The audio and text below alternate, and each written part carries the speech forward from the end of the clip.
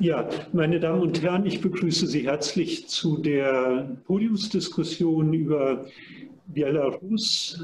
Eine Diskussion, die dazu dienen soll, Kenntnisse zu vertiefen über die Protestbewegung in Belarus und die staatliche Reaktion darauf. Belarus ist zurzeit in aller Munde, was vor ein paar Monaten noch völlig anders war. Die Ignoranz äh, über Belarus, die wie gesagt vor einigen Monaten noch herrschte, wird ganz schön eingefangen in einer Episode in der BBC TV-Serie Sherlock, wo der zeitgenössische Detektiv Holmes in sein Apartment in der Baker Street von einer Reise aus Minsk zurückkehrt. Und da fragt ihn Dr. Watson, ob er seinen russischen Fall erledigt habe. Belarussischen berichtet ihn dann Holmes. Also die Fähigkeit, Russland von Belarus unterscheiden zu können, so wird es in dem Film nahegelegt, ist ein Zeichen von außergewöhnlichem Scharfsinn und großer Brillanz. Das hat sich jetzt in den letzten Wochen grundlegend geändert durch die Ereignisse in Belarus. Äh, sind Belarus West- und Mitteleuropa zumindest in der Beobachtung näher gerückt. Der Westen kann in dem Konflikt zwischen der Protestbewegung, die das Volk verkörpert, und der Staatsmacht nicht eingreifen, aber die westlichen Öffentlichkeiten beobachten die Freiheitsbewegung mit großer Spannung. Denn in den Augen des Westens geht es auch um einen Konflikt um die eigenen Werte und um die Frage, wie der Westen angemessen reagiert. Diese Fragen werden jetzt in unserer Diskussion nicht im Vordergrund stehen. Wir mögen sie am Ende berühren. Im Vordergrund steht die Frage nach der Kultur und äh, der Gesellschaft in Belarus nach der Frage der Hintergründe der augenblicklichen Auseinandersetzung. Für diese Diskussion äh, konnten eine Wissenschaftlerin und zwei Wissenschaftler gewonnen werden, die aus Belarus kommen, zum Teil schon lange in München arbeiten, zum Teil für einen kürzeren Forschungsaufenthalt hier sind und die alle seit langem zur Geschichte und Politik von Belarus arbeiten. Ich stelle die Diskutantinnen und die Diskutanten kurz vor. Das ist Jekaterina Keding. Äh, sie hat Geschichte und Anglistik an der Belarussischen Pädagogischen Universität in Minsk studiert und dann den Masterstudiengang Osteuropa-Studien an der LMU München absolviert. Zurzeit ist sie Doktorandin, fortgeschrittene Doktorandin mit dem Thema Zweiter Weltkrieg und nationalsozialistische Besatzung in Museen, Gedenkstätten und Denkmälern der Republik Belarus. Und zu ihrem Themenfeld hat sie bereits acht Aufsätze veröffentlicht. Anton Lewitzki hat Globalgeschichte an der Belarussischen Staatsuniversität in Minsk studiert und er arbeitet an einer Promotion im Rahmen der Graduiertenschule für Ost- und Südosteuropa-Studien der LMU, die übrigens zusammen mit dem Collegium Carolinum hier Veranstalter ist, über die Geschichte der Intelligenzia in Belarus seit 1991 und auch erst mit fünf Aufsatzpublikationen schon ein erfahrener Wissenschaftler. Dr. Vyacheslaw Jaraschewitsch schließlich ist Associate Professor an der Belarussischen Staatsuniversität, der Belarussischen Staatlichen Wirtschaftsuniversität und der Internationalen Universität Mizo. Seine Forschungen liegen im Bereich der internationalen politischen Ökonomie. Dazu hat er zwei Monographien 2011 und 2017 vorgelegt. Zurzeit ist er Humboldt-Stipendiat an der LMU München und arbeitet über die Eurasische Wirtschaftsunion. Äh, Jaraschewitsch sitzt hier neben mir. Die anderen beiden Diskutanten sind über Zoom zugeschaltet.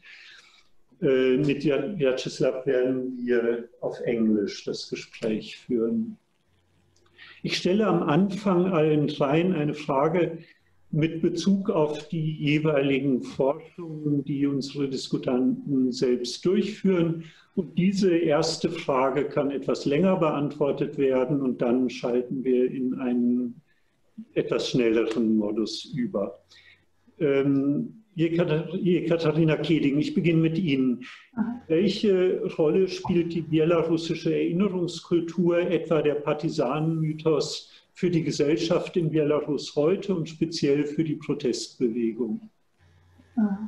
Ja, vielen Dank äh, für die Frage und auch für die Einladung in diesem Webinar heute über die aktuellen Ereignisse in, Belar in Belarus zu sprechen. Ähm, wie Martin Schulze-Wessel schon erwähnt hat, forsche ich zu Erinnerungskulturen an den Zweiten Weltkrieg und vor allem in Museen, Gedenkstätten und Denkmälern und sehe bei den aktuellen Ereignissen, die ich natürlich auch verfolge, bestimmte Anknüpfungspunkte auch für meine Forschung.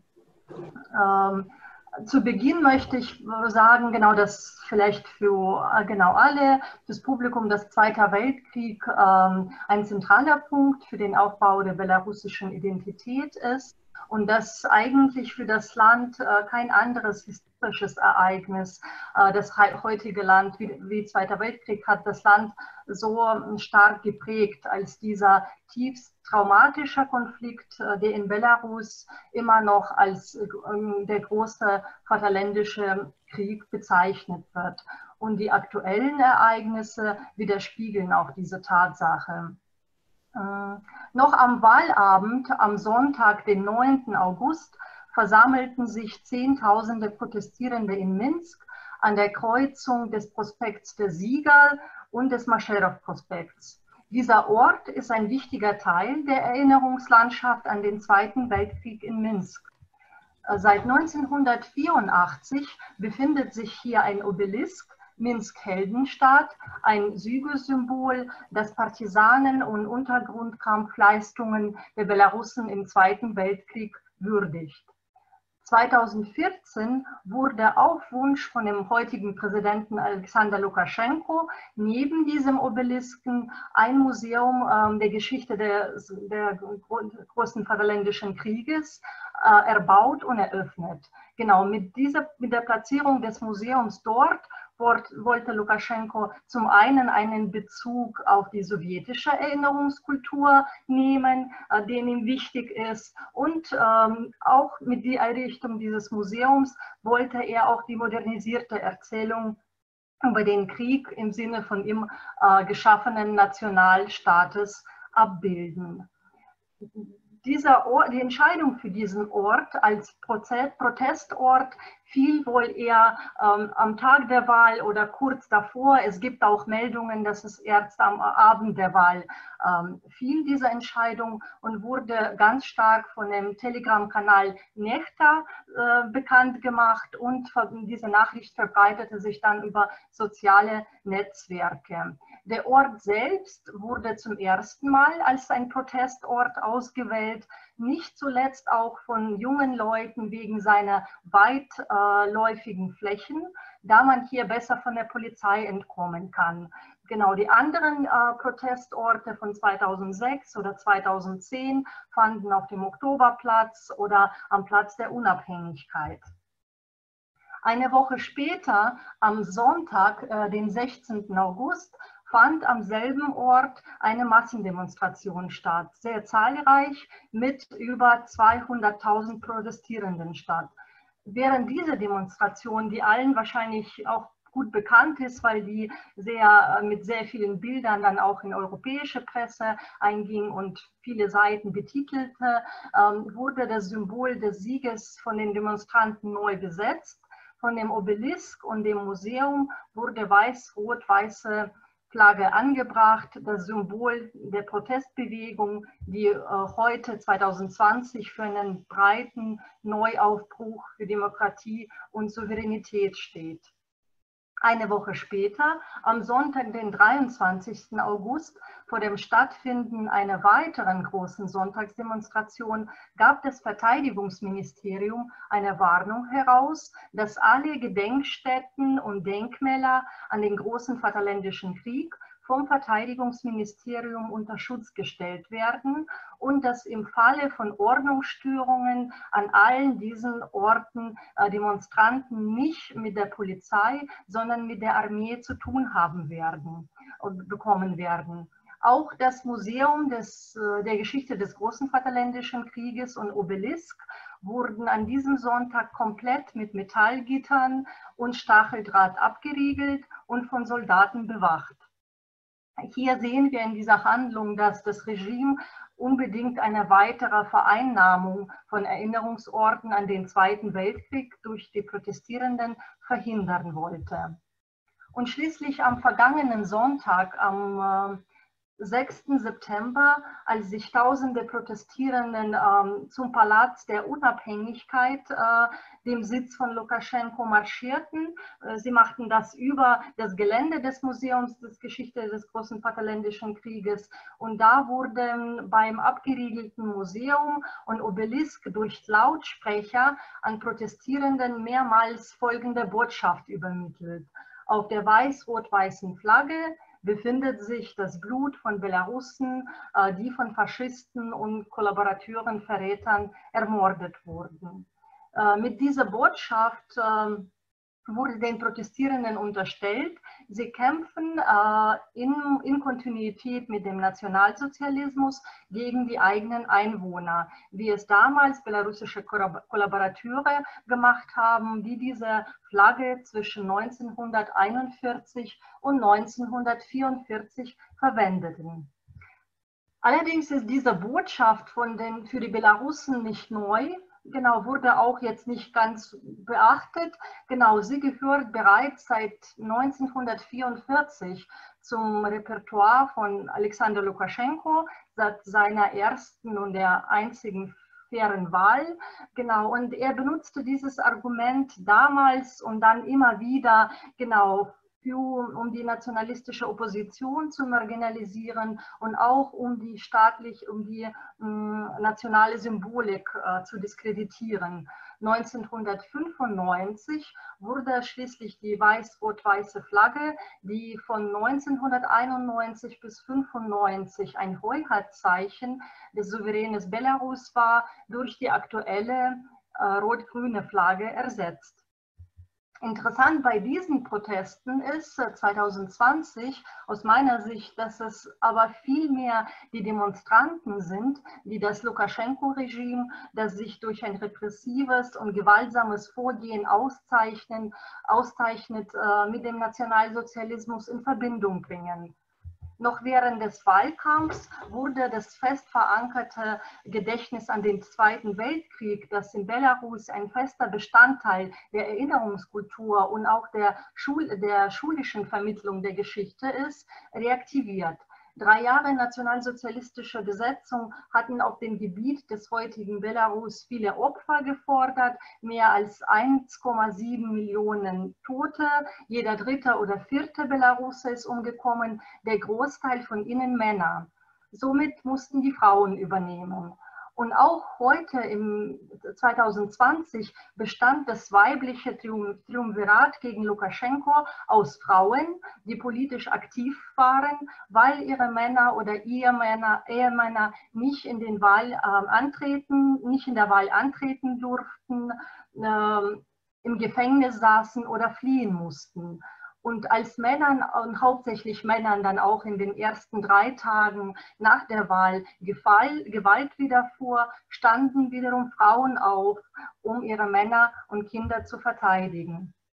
Die Bilder der Menschenjagd von Amon und ähm, Amon ist der Name einer Spezialeinheit der Polizei, die gegen die Demonstranten eingesetzt wird, beschleunigten diese Reaktivierung. Viele Augenzeugen sind überzeugt, dass staatliche Gewalt in diesem Ausmaß zuletzt unter der deutschen Besetzung im Sommer 1944 zu beobachten war und Berichte, die sehr stark auch über soziale Medien und unabhängige Medien verbreitet wurden, über Folter, Erniedrigungen, Erniedrigungen sexuelle Gewalt, im Isolationszentrum Okrestino bestätigten bei vielen ähm, Augenzeugen auch diese Assoziation mit der NS-Besatzung. Gestapo wurde zum neuen Symbol für Omon, zum neuen, nicht Symbol, zum neuen Synonym für Omon, äh, wie man das an den Plakaten der Demonstranten sehen konnte.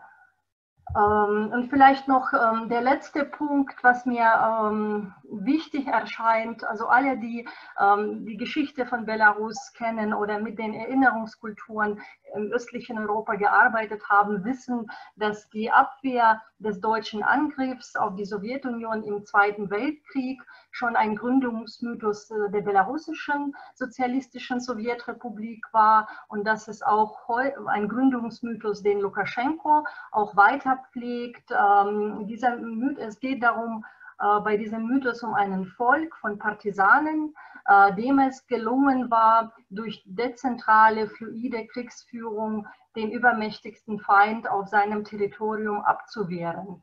Und im Jahr 2020 sehen wir eigentlich, dass dieser übermächtige Feind nicht von außen kommt und für die Bevölkerung in Belarus, die die meisten unterstützen äh, Lukaschenko nicht mehr. Für die wird sozusagen dieses eigene Staatsapparat mit seiner polizeilichen und militärischen Macht zum Inbegriff existenzieller Bedrohung und die es auch mit Hilfe dieser fluide, dezentralen Partisanentaktiken zu besiegen gilt. Und äh, natürlich äh, diese, sind diese Massendemonstrationen mit weiß-rot-weißen Flaggen vor dem Obelisk, vor allem abends, genau, wenn es so beleuchtet ist und man diese Inschrift Minsk Heldenstaat sieht, genau, und diese Flaggen auch vom Museum verleihen diesem Ort eine neue Bedeutung. Minsk wird von einer Partisanenheldenstadt im Zweiten Weltkrieg zu einer Heldenstadt im Kampf gegen die Diktatur von Lukaschenko. Ähm, genau, und das ist so meine Beobachtung bis jetzt. Genau. Ja, herzlichen Dank, Frau Keeling. Das sind ganz spannende, wichtige Hintergründe, auf die wir später noch zurückkommen werden. Also auch verschiedene Fragen. Die Frage nach den Symbolen wie der Flagge, aber auch dem Verhältnis zwischen Männern und Frauen in der Protestbewegung. Ich fahre jetzt erstmal fort und äh, frage Anton Jawitzki nach der Rolle der Intelligenzia, also nach unserer Vorstellung, die natürlich von 1989 stark geprägt ist, spielen Intellektuelle oft eine, teilweise jedenfalls eine herausragende Rolle. Und da liegt die Frage nahe, ob das in Belarus heute ähnlich ist oder welche Gruppen die tragende Rolle spielen. Ja, erstmal vielen Dank für die Einladung. Kurz gesagt ist es natürlich kein Protest äh, oder keine Bewegung der Intellektuellen in dem Sinne wie etwa die demokratische Bewegung der 90er Jahre ein Projekt der damaligen Intelligenz war. Die heutige Bewegung in Weißrussland ist viel zu dezentralisiert. Äh, äh, außerdem ist die Beziehung der Intellektuellen selbst zu dieser Bewegung widersprüchlich. Einerseits herrscht ein breiter Konsens über die strategischen Ziele der Protestierenden. Andererseits gibt es aber viele äh, Meinungsunterschiede bezüglich der Taktik, der, der Taktik. Also die jetzige Protestbewegung in Belarus stützt sich auf das Vermächtnis äh, der Demokraten aus den 90er Jahren. Das erkennt man äh, einerseits an den Symbolen dieses Protests, an der politischen Rhetorik, an den historischen Bezügen, die immer wieder zu diesen Ereignissen äh, genommen werden aber auch an der Programmatik, was sehr viel wichtiger ist. Äh, der Konsens, diesen Konsens über die Ziele äh, der, Demok äh, der Protestbewegung kann man wahrscheinlich mit dem Wort Rechtsstaat zusammenfassen. Die Philosophin Olga Sparaga hat neulich in diesem Zusammenhang von Gesetz und Verfassung geredet, als Leitparolen der Protestierenden. Daraus ergeben sich auch konkrete Forderungen der, Demonst der, Demonstranten, Aufklärung der brutalen Polizeigewalt in den ersten Tagen nach dem Wahlsonntag und neue rechtstreue Präsidentschaftswahlen. Wiederholt äh, äh, haben die Demonstrierenden auch von menschlicher Würde geredet, die der Staat natürlich zu respektieren habe. Im Hintergrund dieses Wahlprogramms wirkt aber ein tiefgreifender Stimmungswechsel in der Bevölkerung. Die Mehrheit der Weißrussen hat im Wahlkampf, nicht ungefähr hat Slavoj übrigens auch von äh, den Zielen des Protests als äh, kapitalistisch-liberal äh, geredet.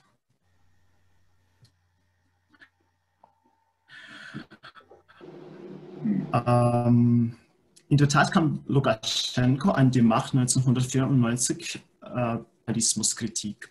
Er hat argumentiert, dass eine zentralisierte, äh, eine zentralisierte äh, Vermögensumverteilung unter der Aufsicht der Staatsorgane viel effizienter und moralischer sei als der Markt. Und der Markt war ja eben das äh, erklärte Ziel der damaligen demokratischen Bewegung. Deswegen hat die Mehrheit der Bevölkerung das System von Lukaschenka auch über diese Jahre hinweg unterstützt. Nun ist, es, nun ist die Stimmung, wie mehrere Umfragen seit 2018 äh, gezeigt haben, gekippt. Eine relative Mehrheit der Weißrussen verknüpft ihre Hoffnung auf äh, Wachstum und Wohlstand mit dem Privatsektor, nicht mit dem Staat. Diese ideologische Wende macht es möglich, dass die Bewegung sowohl die Intellektuellen als auch eine breite, äh, breitere soziale Kreise erfasst. Ungeachtet dieser ideologischen Annäherung zwischen den beiden Gruppen sozusagen oder zwischen den Intellektuellen und den, äh, äh den breiten sozialen Gruppen gibt es auch erhebliche Widersprüche. Klar ist, dass die Rolle der Intelligenz in der heutigen Protestbewegung von Grund auf anders ist, als, als es in den 90er Jahren der Fall gewesen ist. Viele Historiker haben übrigens äh, vom Tod der Intelligenz in Bezug auf die 90er Jahre äh, gesprochen, etwa Wladislav Subok. Ein wichtiger Faktor, der zu, zum Bedeutungsverlust der moralischen Elite, also der Intelligenz, geführt hat, war der Zusammenbruch des alten Kulturbegriffs. Die hohe Kultur und deren Institutionen wurden in, äh, seit dem 1990 äh, ungefähr in der Gesellschaft marginalisiert und verdrängt. Das sieht man auch am heutigen Protest. Die Sinnstiftung der Protestierenden ist chaotisch, fluide. Sie sieht vielmehr nach einem Karneval aus, im Sinne von Bachtin. Beispielsweise ist das Plakat zum wichtigsten Medium des Protestes geworden, statt von Gedicht und Essay, wie es in den, in den 90er äh, Jahren äh, der Fall war. Die Protestierenden greifen gerne auf Ironie und Sarkasmus zurück. Äh, man sieht sogar anstößige Beleidigungen von Lukaschenko und der, den Polizisten.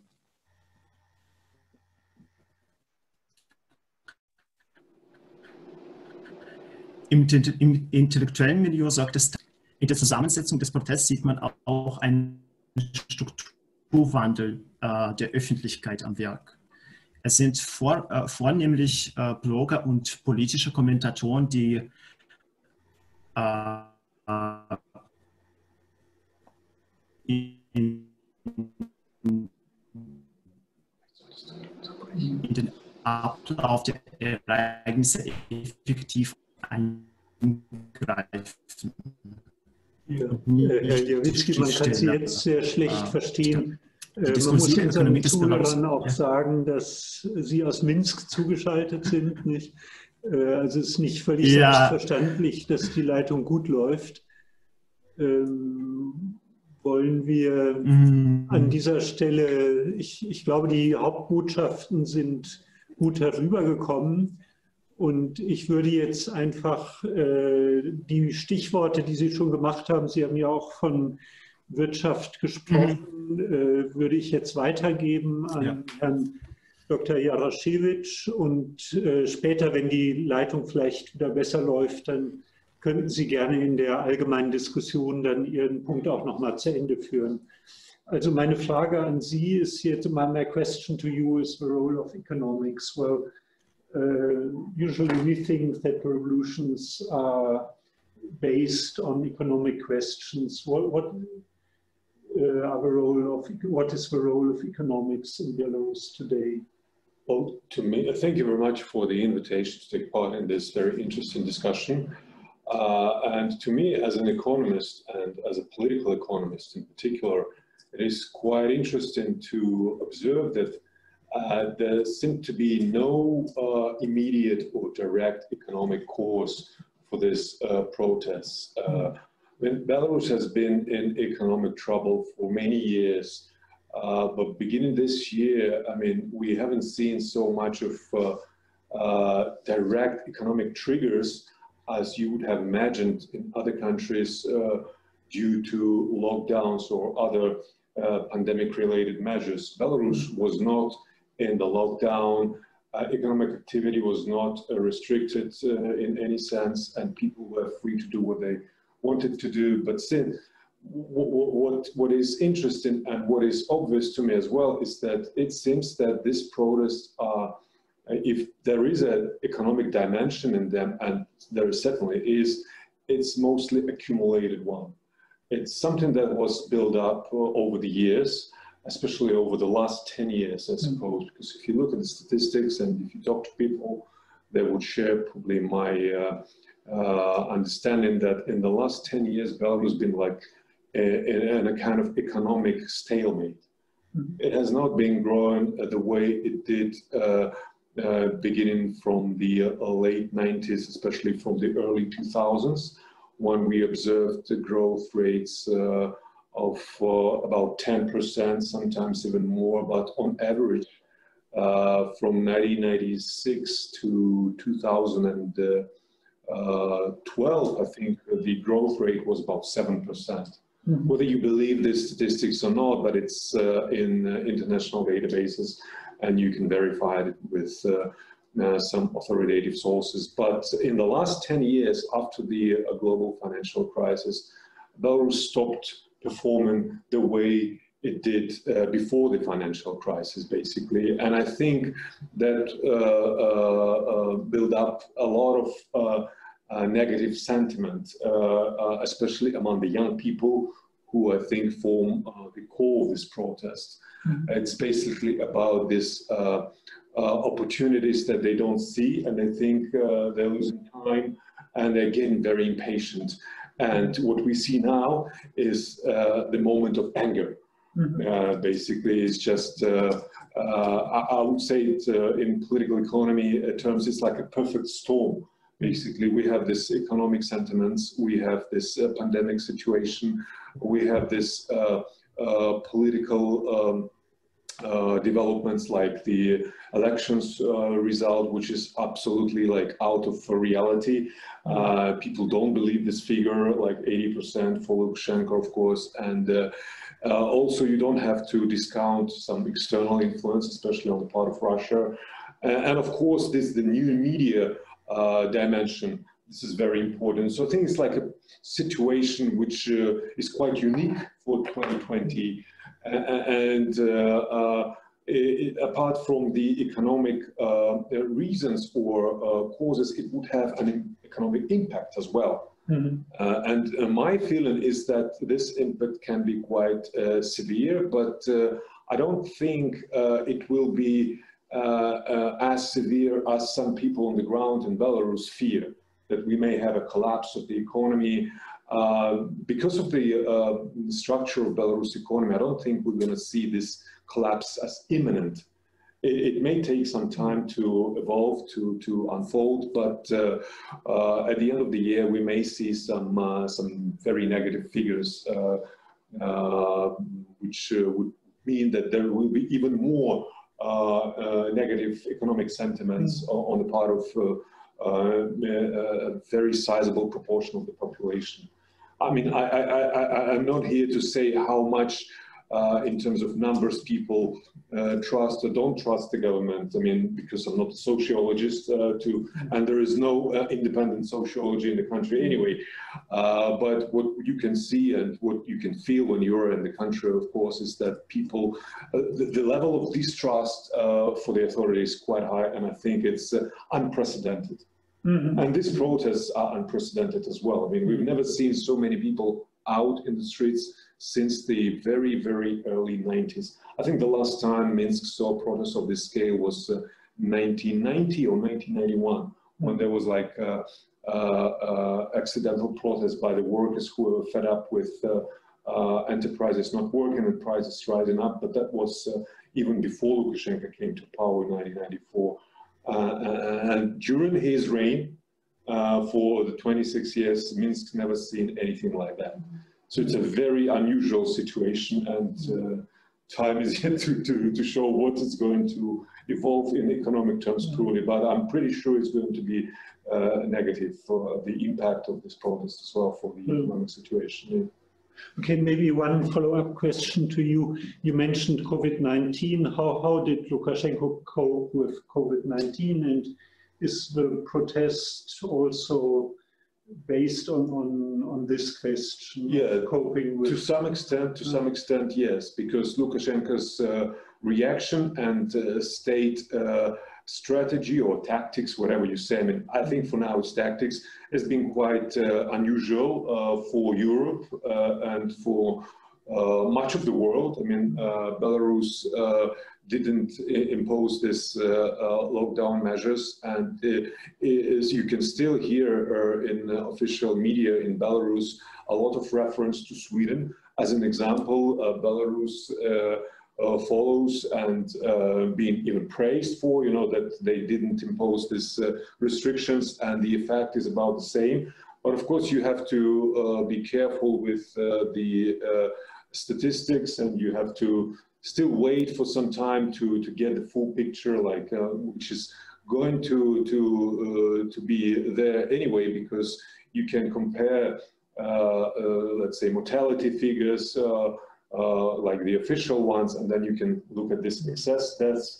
Uh, you can see them now in the United Nations uh, population databases, and you can see some discrepancy, uh, which is quite large. But uh, for many people, uh, this state reaction to, to the pandemic was inadequate. Mm. And many people thought that it's just a, a, a proof of uh, inadequacy on part of the whole uh, uh, um, regime, like political regime in the country, that it should sort of be more serious about this health risks uh, and to take uh, care more about the population. Mm. So uh, it, to some extent, yes, the protests were fueled by this mm. inadequate, reportedly inadequate reaction by the authorities. Yes. Okay, thank you so much. Äh, vielleicht können wir zu der Frage, die Katharina Keding äh, aufgebracht hat, zurückkehren nach den zentralen Symbolen. Also äh, Frau Keding hatte ja sehr plastisch deutlich gemacht, dass zentrale Symbole in Belarus umgewertet worden sind in der jüngsten Zeit. Und ich möchte noch mal zu der Flagge zurückkehren, die ja das Bild, was uns in den Medien präsentiert wird, sehr stark dominiert. Ähm, ist sie ein Symbol für nationale, möglicherweise auch nationalistische Einstellungen der Belarussen? Oder ist sie einfach ein Symbol, das man gefunden hat?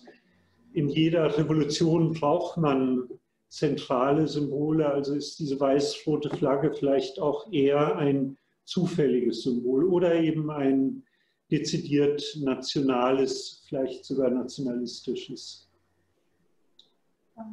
Ja, ich würde, ähm, ich würde sagen, das ist auch interessant, genau an diesen Protesten, dass äh, diese Symbolik, die gewählt wurde und vor allem die weiß-rot-weiße Flagge, sie ist eben, wird nicht ähm, als Symbol dieses nationalistisch gefärbt oder wie es früher seit 94 auch von der Opposition benutzt wurde, wahrgenommen, sondern in dem, was ich alles beobachte, ist es ganz klar ein Symbol einfach für diesen Neuaufbruch und was ähm, für Unabhängigkeit, Souveränität steht und Belarus ohne Lukaschenko.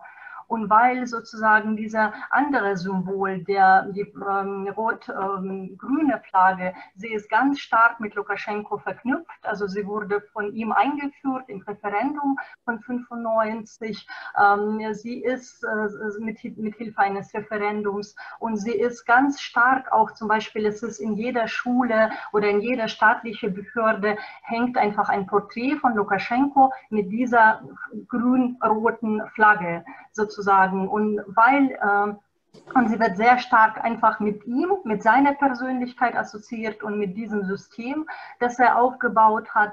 Für die meisten Leute ist es einfach das Thema ein neues Belarus, ein, keine Diktatur mehr ohne Lukaschenko. Also Vertrauensbruch ist Vertrauen ist gebrochen in der Gesellschaft zu der jetzigen Regierung und es muss wieder hergestellt werden. Es soll sozusagen dieses politische System neu geladen werden, also wenn man den Computer verwendet sozusagen. Und ich glaube, das ist so ganz äh, eindeutig, dass viele Leute, und da sind tausende Leute, die auf die Straße gehen mit dieser Symbolik, nicht viele wissen davon auch, was dahinter steckt, was, wann diese Flagge verwendet wurde, was sie genau bedeutet, sondern sie, die Leute haben sich sehr schnell organisiert, sehr schnell wurden diese Ziele herausgebildet, für was, was wir jetzt eigentlich wollen als Gemeinschaft. Und die sind sehr eindeutig und sehr klar, können sehr viele Leute verbinden. Und man hat einfach sehr schnell nach Symbolen gesucht. Und es war schon eine Flagge da, genauso Symbolik da und auf die wurde einfach zugegriffen. Und man konnte auch ganz gut beobachten, die ersten Wahlkampagnen von Svetlana Tichanowskaja, die dann auch vor allem die Provinz bereist hat.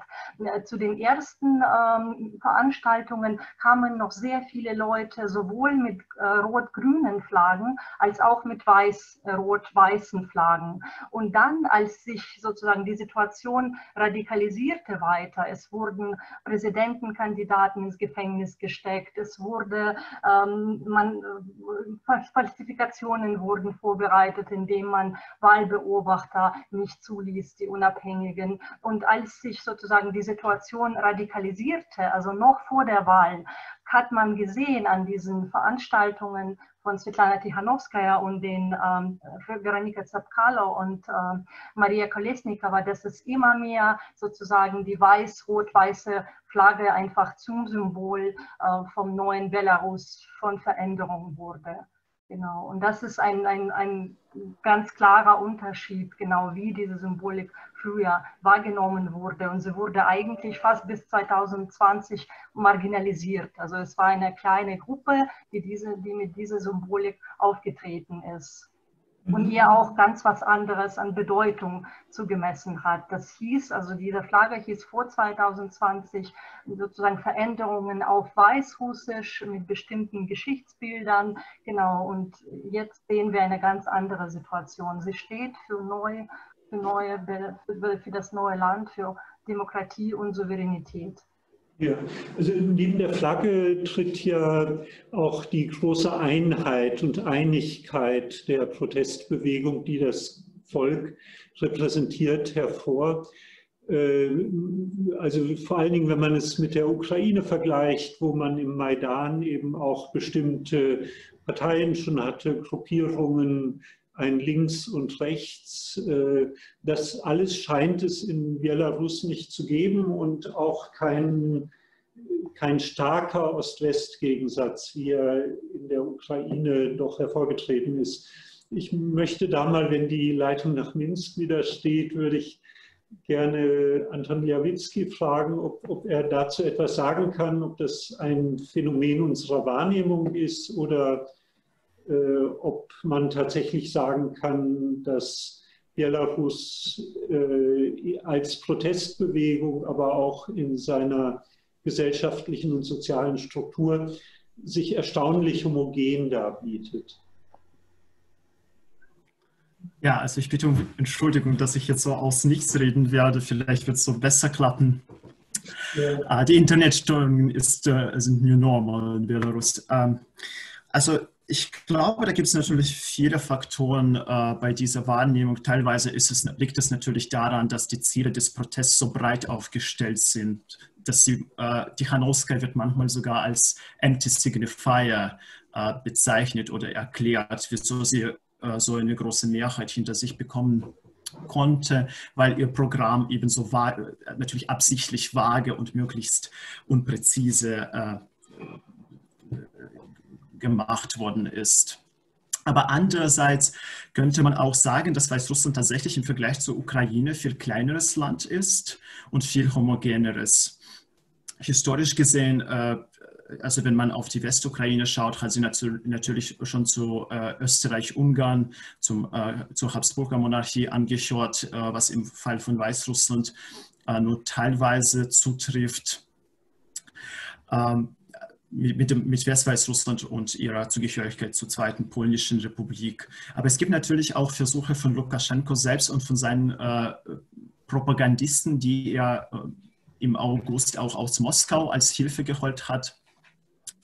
Äh, es gibt Versuche, die, äh, die diverse äh, Spaltungslinien in der Gesellschaft äh, hochzutreiben. Und dazu gehört auch West, äh, Ost-Gegensatz, Jung-Alt, Minsk-Provinz, einige andere, was natürlich als Versuch gesehen wird, die Protestbewegung zu äh, äh, kleiner zu machen. Ja. ja, vielen Dank. Ich würde noch eine Frage anschließen nach den Emotionen. Also äh, die Teilnahme an den Demonstrationen, an Protest setzt ja großen Mut voraus. Man muss damit rechnen, verhaftet zu werden, gefoltert zu werden. Man muss auch letztlich um sein Leben fürchten. Äh, also welche Entschlossenheit dazu gehört, überhaupt auf solche Demonstrationen zu gehen, ist, glaube ich, für uns hier in Deutschland, jedenfalls in Westdeutschland, gar nicht nachvollziehbar. Für die Menschen, die die Revolution in der DDR erlebt haben, dagegen schon. Also meine Frage ist, welche emotionalen, welche Emotionen entstehen in dieser Revolution und welche emotionalen Regime versucht die Staatsmacht dagegen zu setzen mit ihren Inszenierungen. Äh, also wir alle haben die Bilder gesehen von Lukaschenko mit dem Hubschrauber und Lukaschenko mit schusssicherer Weste und Kalaschnikow. Ich weiß nicht, wer die Frage beantworten möchte. Äh, vielleicht Frau Keding, weil Sie auch schon über die Rolle von Männern und Frauen gesprochen haben. Legt Ihnen die Frage nahe? Ja.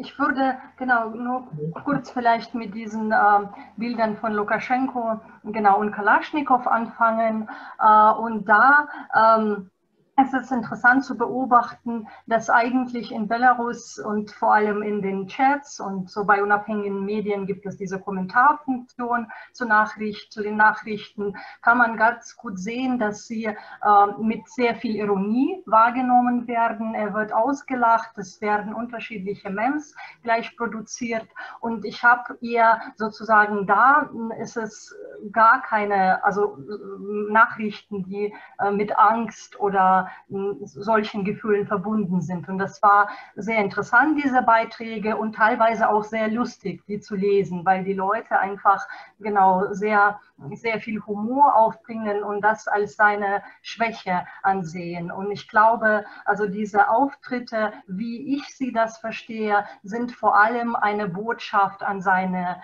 Leute, militärische und vor allem an Omon, genau die, in denen er einfach den sagt, ich bin mit euch bis zur letzten Patrone. Der ist ja auch zu diesen Leuten gekommen, hat sich bedankt und äh, sie haben dann eben applaudiert und auch gesagt, wir bleiben mit ihnen bis zum Ende. Genau, und ich denke, das ist vielleicht, ich weiß nicht, welche Reaktion genau diese Bilder im, im Westen haben, aber seine genau, wahrscheinlich Intention war, entweder Proteste einzuschü einzuschüchtern äh, damit oder vor allem dann diese Leute, mit denen er spricht, genau, Omon, äh, die Leute anzusprechen. Und auch, äh, genau, also das ist vielleicht so der eine Punkt. Äh, und der andere Punkt, äh, der äh, auch wichtig ist aus meiner Sicht, ist, äh, dass diese Protestbewegung von 2020 auch sehr viele Beteiligungsmöglichkeiten an dem Protest bietet. Es, wir beobachten, dass es eine Zivilgesellschaft sich in Weißrussland herausbildet und das war lange Zeit auch nicht der Fall in Belarus, weil es einfach diesen sozialen Kontrakt Vertrag war mit, mit der Macht sozusagen. Macht sichert Stabilität für die Leute und es wird wenig Arbeitslosigkeit geben, die staatlichen Betriebe bleiben erhalten und das Volk sozusagen delegiert dieser Macht genau einfach genau das regiert und die Leute wollten sich nicht einmischen und jetzt genau ist es anders. Man sieht an sehr vielen Stellen diese Herausbildung und Aktivwerden der Zivilgesellschaft. Das hat dann natürlich auch Covid-19 sehr stark verstärkt, äh, verstärkt sozusagen diese Prozesse, als die Leute gesehen haben, wir sind auf uns alleine gestellt, wir müssen selber handeln. Es gab dann zum Beispiel im Haus von meiner Mama, gab es ein paar äh, Rentnerinnen, die Kinder im Ausland hatten, die wussten schon mehr Bescheid. Covid-19 war ja in Deutschland auch etwas früher als in Weißrussland angekommen und sie haben einfach mit ihren Kindern gesprochen und gefragt, was man tun soll, was empfiehlt man sozusagen und haben einfach in so Chats, die dann diese Hochhäuser haben, einfach diese Informationen verbreitet und äh, sozusagen und diese Formen auch der Selbstorganisation, auch in dieser Protestbewegung, äh, beobachten wir ganz klar auch jetzt. Und es gab ganz viele ähm, Angebote, zum Beispiel äh, während der Wahlkampagne äh, musste man, äh, wurde angeboten, einfach ein weißes Bändchen zu tragen, was für ein, neu, für ein neues Belarus steht und einfach bedeutet, dass man ähm, ähm, eine Veränderung wandeln möchte. Und man hat dann auf einmal ganz viele Menschen, Menschen gesehen mit diesen weißen Bändchen. Und dafür musste man jetzt nicht sehr viel äh, Angst aufbringen. Genau. Mhm. Oder die Leute, die dann Bushaltestellen bemalen mit weiß-rot-weißen Flaggen oder Kakerlaken ne, äh, überall malen, die Symbol für Lukaschenko sind. Ähm, das ist ein ähm, sozusagen Produkt der Kampagne von Tichanowski, der Lukaschenko als Kakerlake bezeichnet hat, den man mit einem Hausschuh sozusagen töten müsste. Und die Leute tragen ab und zu einfach ein ähm, Hausschuh in der Hand. Genau, aber es gibt wahrscheinlich, die Mehrheit geht tatsächlich auf die Straßen und das sind, wenn man den Bilder anschaut, nicht nur junge Leute, sondern auch Rentner. Es gibt auch sehr starke Bewegung, ähm, das in Arbeit, sich in Arbeitskollektiven auch zu versammeln und äh, so aufzutreten als ähm, dann Lehrer dieser Universität oder Schüler. Ärzte hatten auch eine sehr äh, sozusagen starke, sind nach außen aufgetreten als eine geschlossene Gruppe. Ähm, genau, und da sind so äh, die Sachen, die ich beobachte. Und wahrscheinlich, und tatsächlich, man spricht auch heutzutage davon, dass viele Leute traumatisiert sind von den Ereignissen, dass es für Leute nicht mehr sicher ist, einfach äh, rauszugehen. Viele wurden festgenommen, nur weil sie vorbeigegangen sind an den Protesten oder auch im Café saßen. Viele IT-Unternehmen äh, beschwerten sich auch, dass ihre ähm, ähm, ihre Arbeiter einfach festgenommen wurden auf der Straße, nur weil die Firmen einfach zentral platziert sind und die Leute nach Hause gingen, genau, und dafür auch geschlagen wurden. Und deswegen ist es jetzt, ich glaube, es ist nicht einfach und äh, man rechnet schon mit diesen ähm, äh, genau, mit Verhaftung. Äh, genau, es gibt auch viele, die auch mit Kindern dahin kommen. Aber ich glaube, dass die Nachfrage einfach nach der Veränderung ist auch so groß, dass das die Leute auch antreibt. Und auch dieses Trauma, was den Leuten zugefügt wurde während dieser Prozesse, das ist vielleicht auch so eine Art Trigger, dass die Leute, also es wurde sozusagen schon das Letzte zerstört und äh, es gibt keinen Weg zurück. Und das gibt den Leuten wiederum sehr viel Mut und sie fühlen sich auch nicht allein in diese, bei diesen Protesten. Und das hilft auch. Sie sehen auch, ähm, es werden in unabhängigen Medien sehr viele auch Bilder von den Zeitschriften aus westlichen Europa, aus USA gezeigt, wo Belarusen auf den Titelseiten stehen und Frauen mit Blumen. Und das wird auch, ähm, glaube ich, auch sehr positiv aufgenommen und die Leute wissen, dass die ganze Welt auf sie schaut und das gibt denen auch Kraft. Mhm. Ähm, wir haben ja verschiedentlich jetzt auch schon die Frage angeschnitten, mit welchen Strategien Lukaschenko arbeitet. Also dass er beispielsweise den Gegensatz von Jung und Alt, von Ost und West, äh, von städtischer und ländlicher Bevölkerung zu nutzen versucht. Äh, eine andere Ebene ist ja das Ausland. Also er betont ja eine vermeintliche Gefahr aus Polen oder aus Litauen.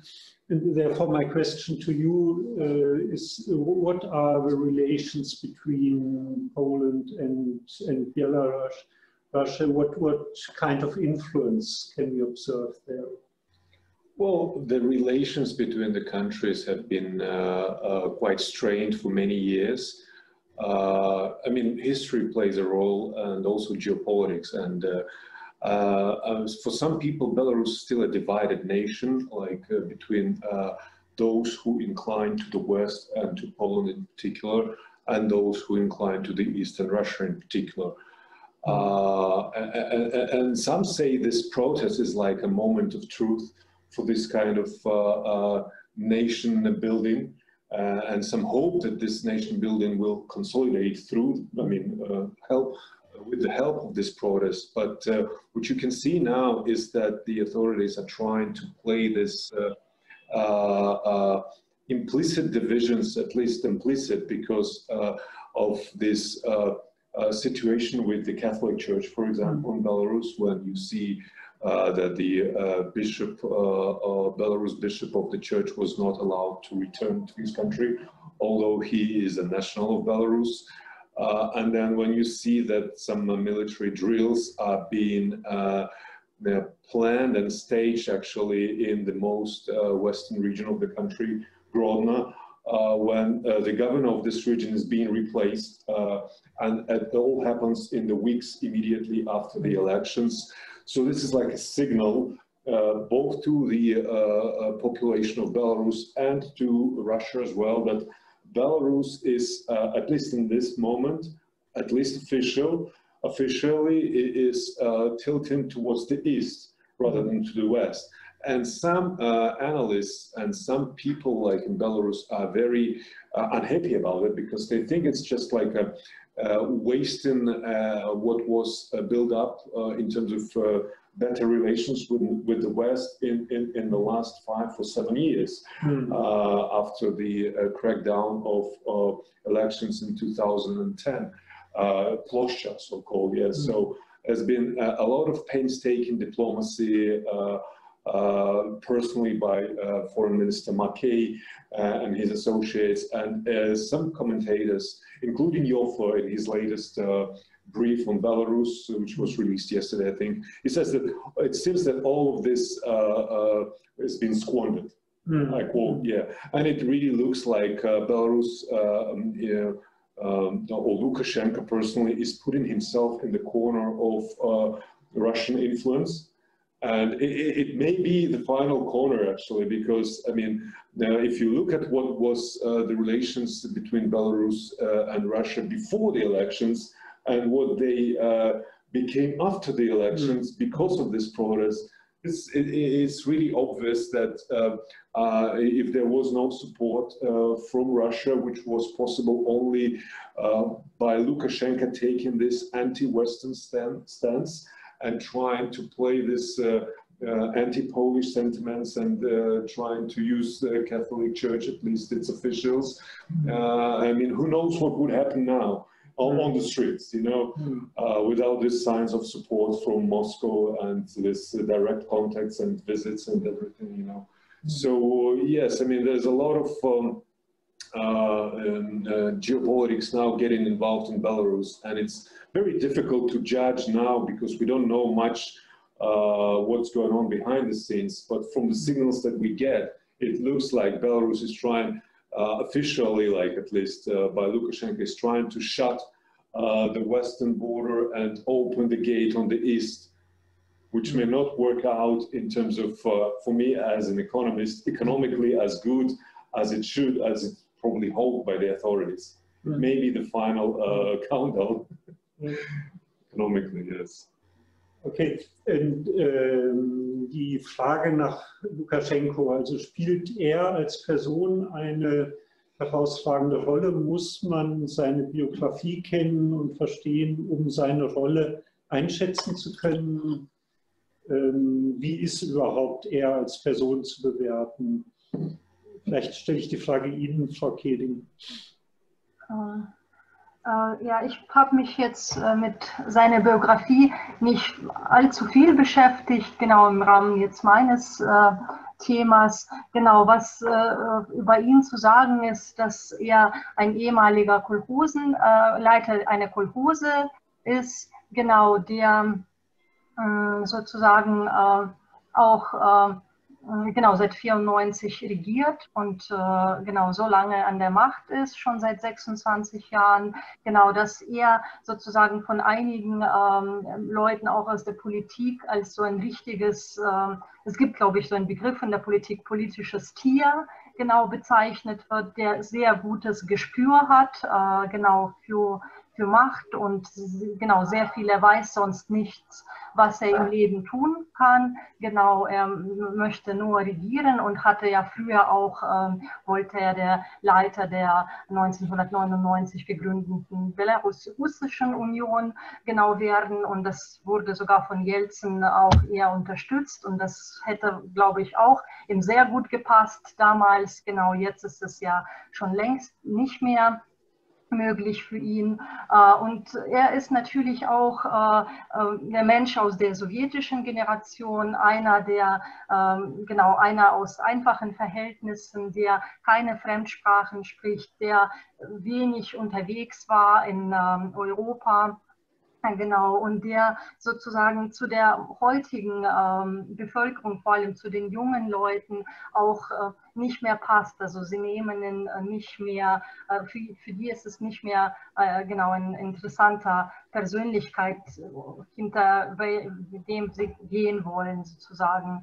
Das ist auch ganz klar. Der hat jetzt in letzter Zeit sich ausgezeichnet dadurch, dass er sehr abwertend immer gesprochen hat über Belarusen. Also der ist einfach zu lange an der Macht und zu sehr in so seiner Blase und ähm, hat immer noch die Vorstellung, er wird von den Belarusen geliebt und es gibt einfach nur Leute, die vom Ausland gesteuert werden und, in, und gegen Bezahlung dann so diese, die Lage im Land destabilisieren. Also davon ist er, glaube ich, fest überzeugt immer noch und äh, Genau, hat tatsächlich bis, bis in die 2000er Jahre auch eine Popularität genossen wegen seiner Politik und dieses stabile Wirtschaftswachstum hat ihm das ähm, ermöglicht. Genau, aber es ist jetzt schon längst äh, wenig so. Und je mehr diese neue Generationen heranwachsen und wählen und aktiv sich am Leben beteiligen wollen im Land, desto weniger passt es ähm, genau mit ihm. Hat auch äh, sehr viele Äußerungen in letzter Zeit ähm, sich äh, erlaubt, die gegen Frauen gerichtet wurden. Also die äh, Leiterin der Wahl, zentralen Wahlkommission, Lydia Jermoschina, sagte immer wieder, die Frauen sollen zu Hause bleiben und Borscht kochen. Lukaschenko meinte auch vor der Wahl mehrmals, eine Frau kann nie eine Präsidentin Präsidenten werden. Er hat Frauen beleidigt und gesagt, sie werden einfach zusammenbrechen über die, äh, genau wenn sie jetzt äh, diese Gelegenheit ähm, erhalten. Ähm, genau, und das hat natürlich auch sehr viele Leute aufgebracht, auch seine Äußerungen wegen der Covid-19. Äh, was für Lukaschenko auch noch wichtig ist, er hat auch sehr stark diese polizeiliche und militärische Macht aufgebaut. Also was wir bei den Protesten 2020 gesehen haben, das ist eigentlich nicht neu. Das kam nicht von heute auf morgen, sondern bereits seit vier, 1994 ist diese Sicherheit, die, diese äh, Spezialeinheiten um, um fünfmal gestiegen bis heute. Auch die Armee ähm, um viermal, genau. Und das ist sozusagen, wo er ganz früh ähm, vier, vierfacht worden oder verfünffacht und er hat auch sehr hohe Ausgaben genau für diese ähm, Bereiche und er hat, glaube ich, auch schon ganz klar verstanden und er sozusagen unterstützt das, gibt viel Geld auf, baut das auf. Und was wir jetzt nur gesehen haben, das war so einfach, was schon länger am Laufen war und jetzt einfach zur Anwendung kam. Also das ist vielleicht auch noch ein ganz wichtiger Punkt, dass er eher mit solchen Mitteln wie Druck, wie äh, genau, also es ist jetzt kein Mensch, der Dialog mag, äh, genau mit dem man das irgendwie auf einem friedlichen Weg äh, klären kann. Genau. Mhm das auch immer wieder betont, genau, man muss ihn erschießen, äh, dann geht er erst oder irgendwer will nicht mit der Straße reden und Koordinierungsrat, die wollen nur das Schlecht für Belarus und, und so weiter. Und mhm. Man muss eigentlich nur gewinnen. Also es gibt, weil er so radikal sagt, ich will nicht reden, also gibt es eigentlich auch nicht so viele Möglichkeiten, genau, außer die, die zweite Seite muss gewinnen oder es muss etwas passieren, anderes noch. Ja, äh, die Silaviki, also diese OMON-Truppen und die Armee sind ja, also man fragt sich, wie unauflöslich die mit der politischen Macht, mit Lukaschenko verbunden sind. Also Schließlich haben auch die natürlich Eltern, sie haben Geschwister, sie haben vielleicht Kinder. Also auch, auch die Armeetruppen sind in irgendeiner, vielleicht in einer schwachen Form mit der Gesellschaft verbunden. Äh, also wie, in welchem Maße, man kann das sehr schwer einschätzen natürlich, aber in welchem Maße gibt es möglicherweise die Möglichkeit, äh, dass die, die Symbole und Erwartungen, die in der Protestbewegung geäußert werden, auch aufnehmen? Ähm, ich denke, Sie nehmen das äh, schon wahr. Ähm, genau, und Sie haben, wie Sie richtig sagen, daran habe ich auch immer gedacht, Sie leben ja in der Gesellschaft auch und Ihre Kinder besuchen Schulen, wo die anderen Kinder hingehen, in den Häusern. Und das ist, glaube ich, was auch in dieser Protestbewegung ähm, im Koordinierungsrat auch stark so die Hoffnung war, vor allem in den ersten zehn Tagen, genau, dass diese Leute einfach, dass da eine Spaltung gibt dass viele von diesen Leuten einfach nicht mehr mitmachen. Genau, aber es hat sich bis jetzt, es gibt ähm, natürlich einige Fälle von Leuten, die ausgetreten sind. Es gibt zum Glück Initiativen der großen ähm, IT-Kampagnen für Umschulung dieser Leute. Ähm, genau, und vor allem den Leuten in der Provinz helfen sie dann auch für die erste Zeit mit Geld bis zu eineinhalb, zwei, 2000 Euro und bieten auch diese Umschulungen und das war auch so eine sehr starke Initiative von PandaDoc, IT-Kampagne, äh, wofür jetzt aber auch wiederum Festnahmen sind von Top-Management. Genau. Und ähm, und man hat sehr gehofft, als diese Initiativen aufkamen und die Videos auch von einigen Leuten, die sie ihre Uniform wegschmeißen in Mülleimer oder genau einfach Anträge auf Entlassung äh, posten. Genau, aber und genau, das gibt wahrscheinlich immer noch, aber nicht so zahlreich, äh, genau wie man erhofft hat. Und sie sind immer noch, also immer noch stark, immer noch da. Die Leute radikalisieren sich etwas und versuchen zum Beispiel diese Masken von Ammon, Spezialeinheiten von den Leuten auch wegreißen. Genau, die laufen dann weg und verstecken sich im Autos. Aber sonst ist es ein sehr grausames Bild von den starken jungen Männern, wie gesagt, mit diesen Masken. Und sie scheinen im Moment noch so eine homogene Einheit zu sein. Genau, man müsste sich natürlich fragen, also warum das ist. Also ich habe so einen Artikel darüber gelesen, dass es einfach auch ganz, müsste man genau gucken, welche Leute da aufgenommen werden. Und das sind sehr oft ähm, äh, junge Männer oder Frauen gibt es ja auch aus der Provinz, äh, Provinzstädten, die dann vielleicht aus einer Familie mit einem Elternteil kommen oder sogar die ohne Eltern aufgewachsen sind und die durch ähm, Arbeit in diesen Anhalten einen sehr hohen Sozialaufstieg machen können. Sie kommen nach Minsk, sie bekommen äh, tolle große Wohnungen zu vergünstigenden Preisen, ein sehr gutes Gehalt. Genau, können gut leben und für diese Leute ist es sehr wichtig. Also sie sind sehr loyal, sie sind sehr dankbar dafür, dass sie haben und sie verstehen jetzt natürlich auch immer mehr, dass wenn sie jetzt wechseln oder wenn es Wandel gibt, dann fragen sie sich, wo bin ich dann? Was passiert mit mir? Und Lukaschenko sagt jetzt auch in letzter Zeit immer wieder, diese Leute werden zerrissen, genau wenn er nicht mehr da ist. Und das kann er nicht akzeptieren. Und er macht, glaube ich, denen auch Angst, dass sie ohne ihn sozusagen in den Abgrund gestürzt werden. Und ähm, genau, und da sind, glaube ich, so, man muss auch erstmal überlegen, wer sind diese Leute, was genau, was wollen sie, warum sind sie so homogen. Aber es ist noch nicht vorbei. Also das, das müsste man noch weiter beobachten. Ja, äh, dann vielleicht zum Schluss der Diskussion die Frage an alle, die sich dazu äußern möchten, was ihre Erwartungen an die nächsten Wochen und Monaten sind. I may ask you, what are your expectations for the next weeks and months? Well, it's difficult to have expectations uh, for the next weeks because, uh, as some people say, it's like a total extraordinary situation in Belarus and uh, anything can happen any day. Uh, but when it comes to the by the year end, I hope that something good will come out of this protest and um, economic damage and social damage will be minimal. Uh, because it's very important for Belarus as a country with uh, uh, medium income and not that strong economy, especially on the manufacturing side of it. Uh, and uh, a country with a lot of social uh, problems, not least related to the demographics.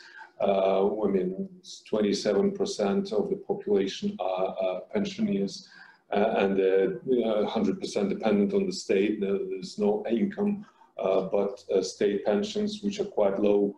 Uh, and lots of peoples with family support uh, depend on state support. So uh, I think that the authorities would have to become more flexible in their reaction and reconsider uh, the old-fashioned approach uh, to, to this uh, mass movement because apparently what we've seen so far is the intention to treat it as something that we've already seen, like a deja vu, but it is not a deja vu for Belarus, uh, for Lukashenko in particular. He hasn't seen anything like that uh, in, during his uh, reign, and he has to treat it in a different way. And so far, I haven't seen this uh, much difference. So what we've seen is like uh, more of the same, uh, and I think it's, uh, it's, it's very dangerous for the country mm-hmm. if there is this kind of gap between the uh, uh, expectations of so many people and between the authorities, especially this one man. You know, as, this is not good. And, and and my hope is that there will be some some at least attempt to uh, to narrow this gap mm. by the year and so that we can uh, see some uh, positive developments at least next year and which will be not just talk and some very superficial action but really substantive action, mm -hmm. which may lead to new elections, uh, which may lead to a new political uh, um, uh, situation in Belarus, a totally new situation, but which would uh, put the country on a more sustainable uh, political economy track, which we haven't seen so far. Yeah.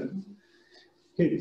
Äh, vielen Dank, Herr Dr. Jaraschewitsch, vielen Dank, Jekaterina Keding und äh, vielen Dank, Anton Jawitzki.